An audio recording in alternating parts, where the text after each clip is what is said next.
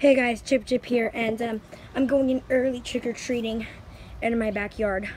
So I guess um, some people came and got some candy, so let's get started. Please take a few pieces. Okay, let's take this, this, and I guess the jawbreakers. I guess that's not good. Okay, here's here's another house. take one piece. I'll just take two just for my brother. Go go. And uh, we'll take a few for Go-Go as well. Grab some of that. What else can we get here? A big old pack of gum and grab that. Okay, let's go back. There's another house over here. Oh, grab some of that. it just says take as much, so I'll just take everything, I guess, because uh, so take as much as you want. And this one says take five pieces, and I'll just. There we go. Oh, there's more houses over here.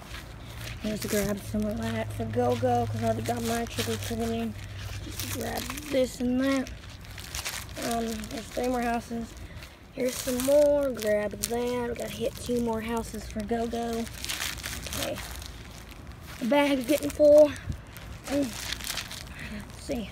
Last house just take the rest because I guess they don't have as much as I thought.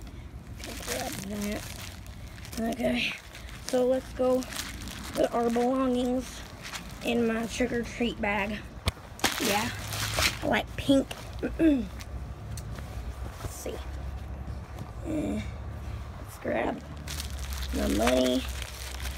Oh, I lost some pieces. That there. That there. Oh, lost it. Oh, Lollipop's dead.